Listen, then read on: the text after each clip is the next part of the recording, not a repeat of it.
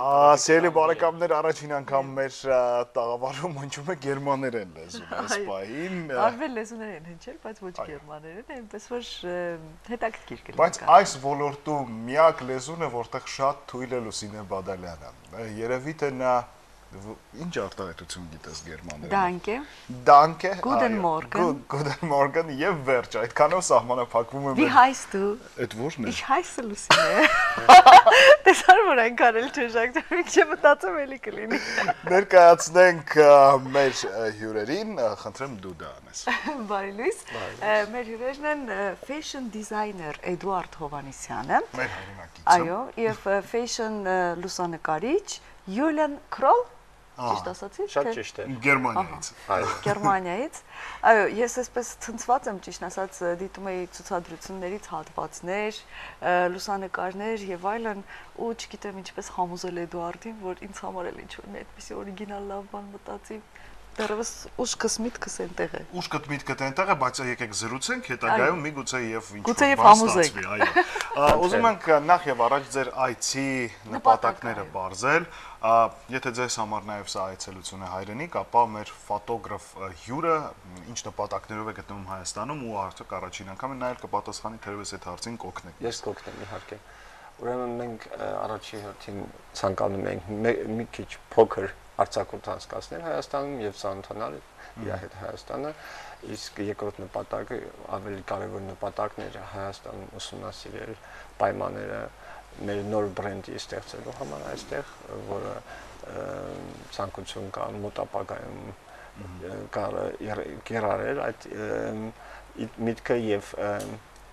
Յա, մենք տնտողումների մեջ ենք, ուսումնասիրությունների մեջ ենք։ Այսպես ուշի ուշով հետևում եք նայում եք ինչպես են այստեղ հակնվում, ինչ տենդենսներ կան, նորաձևության ինչ վիճակներ կան։ Տնտեսության ինչ որ զարգացումներին կամ ֆինանսական վիճակը հասցրեցիք այդ բոլոր գործոնները ուսումնասիրել։ Դե ժամանակը շատ սուղ է, բայց մենք փորձում ենք արագ տեմպերով այդ բոլորը ուսումնասիրել, նայել։ Որքան ժամանակ եք Գերմանիայում ապրում։ Ես ուրեմն 19 տարի ապրում եմ Գերմանիայում։ 19 տարի բայց զբաղվում եմ իմ գործով ոչ այդքան երկար ժամանակ։ Ընդամենը 4 տարի է, որ ես ունեմ իմ աթելիեն, իմ խանութը եւ Ինչպես է կոչվում ձեր իմ աթելիեն։ Այո իմ աթելիեն ուրեմն այնքան դժվարանն է, որ ֆրանս ֆրանսերեն է, որ գերմանացիները դժվարանում են այդ անուն տալ, կոչվում է թարգմանեմ հայերեն սև քարակուսի, Le Carré Noir ֆրանսերեն, Le Carré Noir նշանակում է ինչու համար սև քարակուսի, որտեղ ես գալիս եմ մի քաղաքից, որտեղ ամբողջ հասցեները քարակուսիներով են, ոնց որ Նյու Յորքին է։ Ասենք L8, այդ ամբողջը կվադրատ է եւ դրա համար քարակուսի բառը, իսկ սև ինչու համար, որովհետեւ իմ խանութի պատերը սև էին Իսկ հիմնականում սև քարակուսի, սև բոքս։ Չորնի կլարը Կազիմիր Մալևիչի սև քարակուսու նման ինչ որ։ Ես ունակ չգիտեմ Կազիմիր Մալևիչի։ Օ։ Բայց ես Ոչ էլ նրա սև քարակուսի։ Ոչ, որովհետև ես Ռուսաստանի հետ 19 տարի ես ունեմ ինֆորմացիա։ Չէ, դա Ռուսաստանի հետ կապ չունի, դա աշխարհի գոհարներից է այդ գործը։ Ահա, կներեք, կներեք, ես օքեյ։ Շատ չմտածեցի։ Այո։ Իսկ հիմա մեր հյուրին թարգմանեք,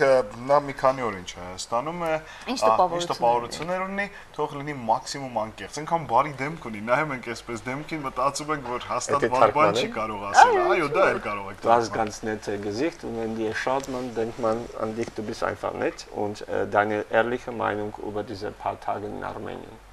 Merci. Ähm, Մերսին հայկական էր։ Այսպես ասած։ Ähm, die Armenier sind sehr spontan, sie sind sehr nett.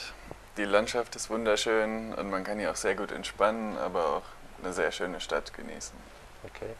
Ähm, հայերը շատ զբորնաս շատ անկեղծ են, շատ անմիջական են եւ դա իրեն շատ է դուր գալիս, իրեն շատ է դուրս գալիս մեր բնությունը եւ մեր իհարկե Երևան քաղաքը, որ ինքը վայելում է։ Ահա, շատ լավ։ Այսինքն հանգիստ կարող է գալ այստեղ աշխատել ձեզ հետ, երբ որ կորոշեք ձեր բրենդը հիմնել այստեղ Հայաստանում։ Չի վախենում ոչ։ Չի վախենում։ Չէ։ Շատ լավ է։ Եկեք անցնենք մի այնպեսի հետաքրքիր զրույցի մեզ համար, երբ որ մեզ շատ հաճախ տեսնում են տարբեր մարդիկ մեր ընկերները մեր գործի բնույթից ելնելով շատ հաճախ շփվում ենք մարդկանց հետ, ովքեր հարաճանաչ են իրենց ոլորտներում, կլինեն դերասաններ, ռեժիսորներ, շոու բիզնեսի ներկայացուցիչներ։ Երեք չի առաջ օրը Facebook-ով նայում ենք ձեր լուսանկարները եւ այնտեղ ձեզ տեսանք Դիտա Ֆոնտիսի, հետո ձեզ տեսանք Katy Perry, հետո ձեզ տեսանք Իտալուհի դերասանուհի կա, կարծես մեծահասակների ֆիլմերի գլխավոր աստղերից մեկն է, այսպես մեծ Մեծ ասակների ֆիլմերը Էդուարդը գուցե չհասկանա ինչի նկատի ուներ։ Ակնարկեցի։ Մի խոսքով։ Այո։ Բաթ ֆիլմերի մասին։ Մի խոսքով։ Իմացակ։ Ինչ ներքին հումոր է։ Հանրաճանաչ մարդիկ ինչպիսին են նրանք այնտեղ։ Չենք ճանաչում, ճանաչում եմ այնպես ինչքանով որ գիտեմ, նույնիսկ ֆիլմ չեմ դիտել նրա մասնակցությամբ, բայց ճանաչում էի։ Տեղեկացված ենք։ Ինչպիսին է ձեր հարաբերությունները այստեղ համաշխարհային շոու բիզնեսի ներկայացուցիչների հետ։ Ոմանց մենք նկատել ենք, որ ինչ որ համագործակցության եզրեր ունեցել եք։ Ուրեմն այսպես ես մասնակցում եմ Գերմանիայում կամ մեկ ուրիշ եվրոպական քաղաքներում միշտ միջոցառումների, որոնք մրցանակաբաշխություններ են կամ միջազգային մեծ ասենք Վիեննայում մեծ մեծ բալ է, որի մասնակցում են Bill Clinton-ը, Sharon Stone-ը, որոնք շատ ակտիվ այդ բալի համագործակցություններն են կամ մեծ մեծ աստղեր, մասնակիցներ, ահա, եւ այդպիսի հավաքությունների ժամանակ ման տեսնում եմ բոլոր շոու բիզնեսի ներկայացուցիչների մարդու ծանոթանում են նրանց հետ after show party-ին նկարվում է հիշատակի համար եւ նույնպես Գերմանիայում ես շատ-շատ եմ մասնակցում այդպիսի հավաքություններին նույն ձեր ասած դերասանուհին իմ հաճախորդներից մեկն է եւ ընկերուներից մեկն է որի հետ միասին մենք շատ ենք մասնակցել այդպիսի միջոցառումներին այն մեծերի ֆիլմերը որ ասացի այդ դերասանուհու մասին է անունը նա նախքին ասեմ ով է ինքը նա նախքինում 10 տարի առաջ հայտնի համաշխարհային պորնո դերասաններ, որը կարողացավ միակ, ասենք, կարիերան, որը միջև այդ բրանշ այդ այդ բնակավարում արել է փոխվել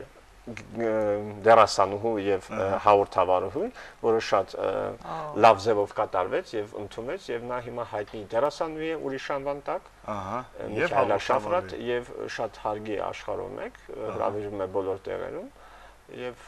այդպեսի անունը ինչ է Միխայելա Շաֆրատ իսկ առաջ իր անունը Ջինա Վալդեր է դա մեջ բադ բան չկա նա շատ հայտնի է շատ հարգված է Գերմանիայում եւ պատկերացնում եմ որքան Դա նորմալ է։ Ինձ հետաքրքիր է մի այսպեսի հարց։ Մենք իմացանք նաև ես նկարների մեջ փորձեցի տեսնել ու ուսումնասիրեցի, որ հետաքրքիր վայրերում եք սիրում անցկացնել ձեր ցուցադրությունները։ Օրինակ այդ թանգարանը, որի մասին կխնդրեի մի փոքր պատմել, մենք կարծես թե չգիտենք, որ այդպեսի սարսափելի թանգարան կա։ Սարսափելի չի, շատ էսթետիկական է